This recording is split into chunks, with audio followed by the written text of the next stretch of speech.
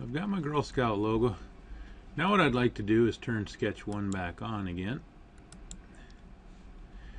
And I'd actually like to open a sketch on the face of my mold here. So I'm going to do that. I'm going to grab that and notice it turns bright blue. And over here I've got the shortcut for sketch. Again, if this little shortcut bar does not come up, then you can go up to the top and tell it sketch uh, and open up one there. In fact, I lost my shortcut bar, so let's do that. Sketch. Now I've opened up a sketch plane on this face, so I can draw on there. And I'm going to come over and pick on my boss extrude here and actually shut him off. And I'm going to go to normal again. Because what I want to do now is I want to get this inside line here, kind of pick up some of this detailing. And I'm going to have to take some artistic liberty, some license, because as you can see this line, this edge comes down here and actually gets into where my draft puts the result of my uh, uh, drafting and extruding that. So I'm going to come down a, a touch further. And I may actually have to bend this around that corner a little bit. That's okay. It's my mold and I can do what I want to it.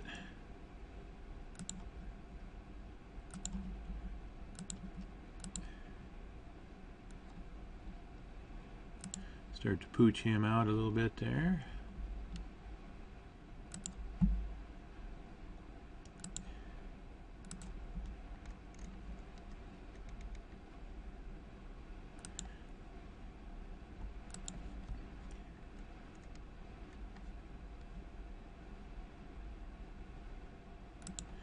And here I think I'll just continue to wrap it myself.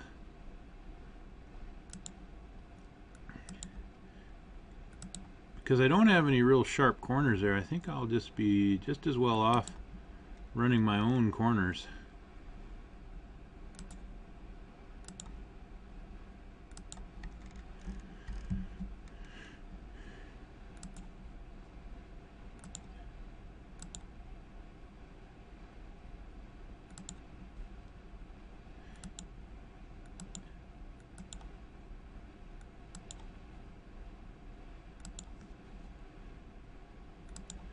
Ooh, I came down to a sharp spot. Okay, so I'm just going to double click down there and leave it sharp in the bottom.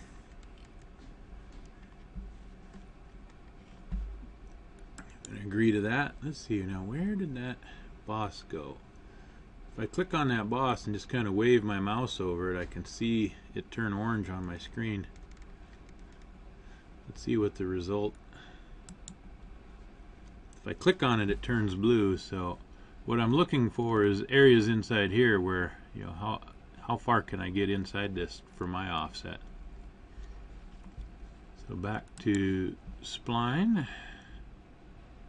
I like it when it turns orange. That means I'm right on top of my other control point.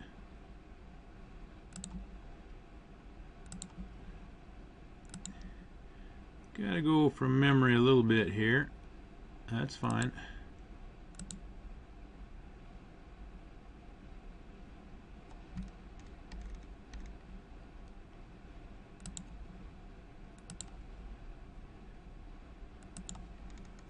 Don't want it too thin in this area.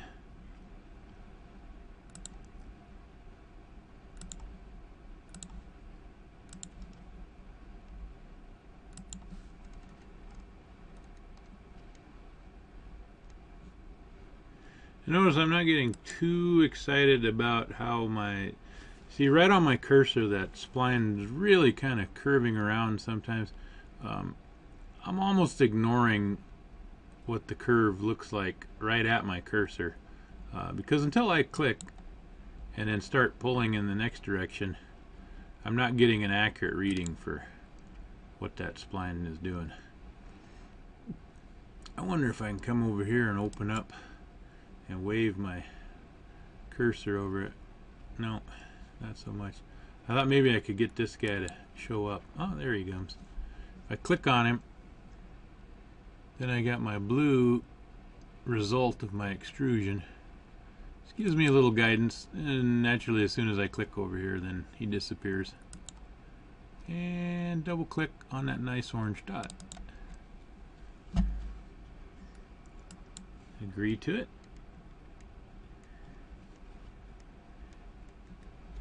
And this could be a little shallower, so I'm just going to grab this control point, tug it around a little bit. This is a little bit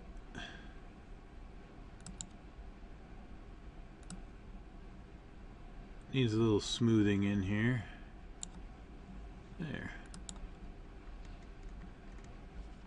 And if I pick on my emboss I probably stayed a little further away from this corner than I needed to, so no problem. I just grab my control points, bring them in a little tighter.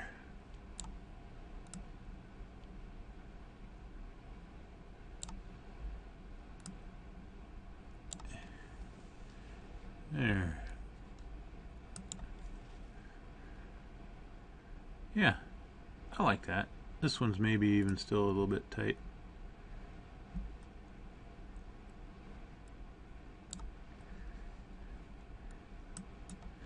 Yeah, that's going to work.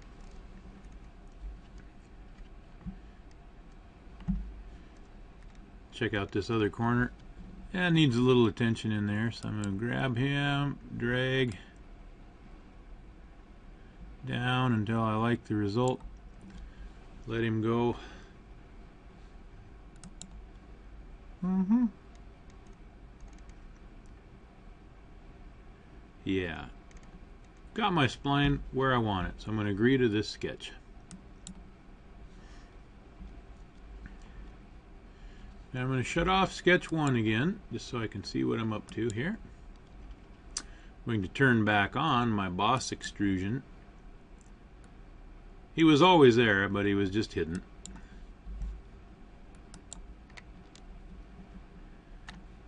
And now, by clicking over here in my history tree, if I grab sketch 3 and go to features, extruded, extruded cut. I'm going to come back down into my mold. I want to go uh, 100 thousandths of an inch, so I'm just going to put 100 thou in here. Be sure to draft it.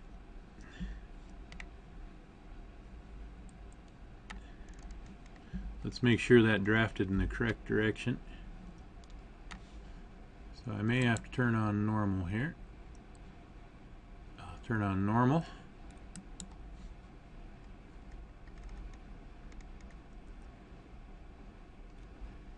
And I think I got the correct direction going, so let's find out.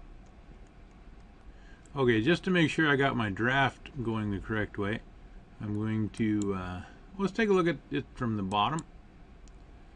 And let's turn it into hidden line view and see if we can tell this looks like our draft angles are going the correct way. So once again our, our plastic needs to be able to pull off the top of this guy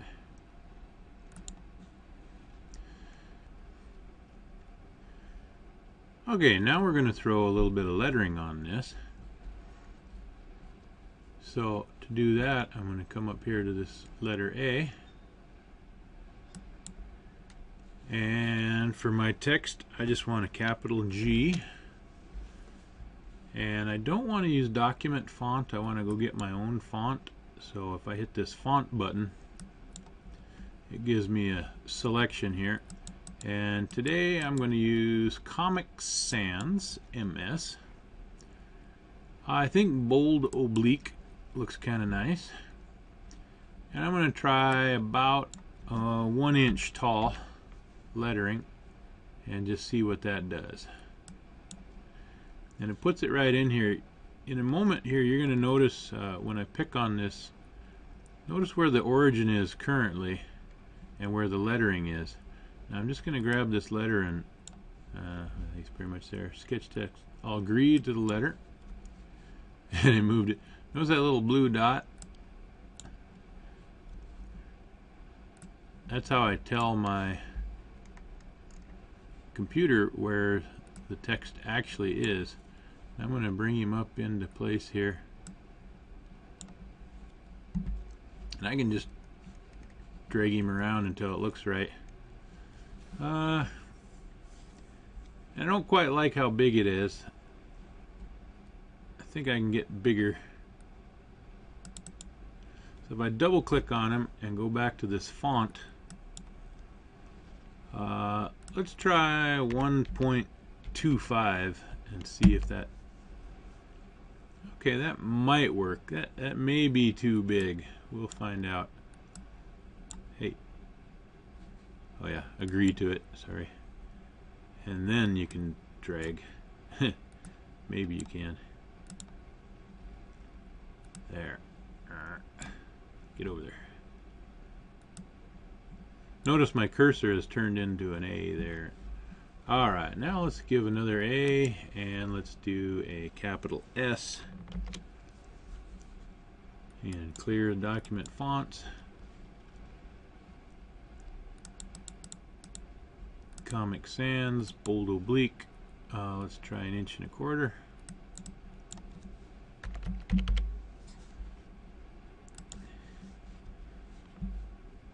And read to him and pull him into place here. Looks like I'm a little bit big and don't think I'm going to be able to get it to fit so let's back him back down to uh, let's try one inch even again. That has a better chance of fitting.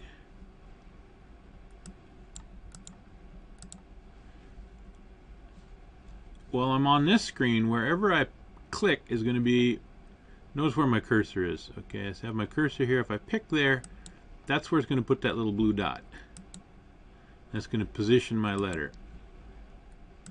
If I get off of sketch text agree to it now when I pick I'm picking either the face or I'm picking my lettering if I pick my lettering now I can actually budge I can move it around just by dragging my mouse so double click on this guy. Font, we'll back him back down to an inch also. Agree to him and budge him into place. Hopefully.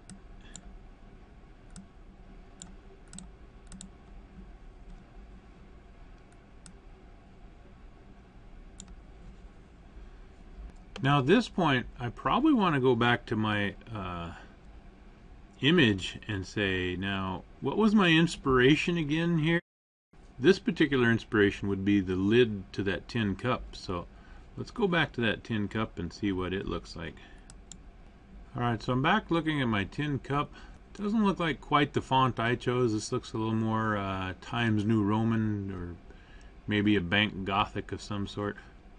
Again, a little bit different look at the emblem again, just going back to some of my original inspiration. Am I achieving what I wanted on my inspiration? And I believe I am.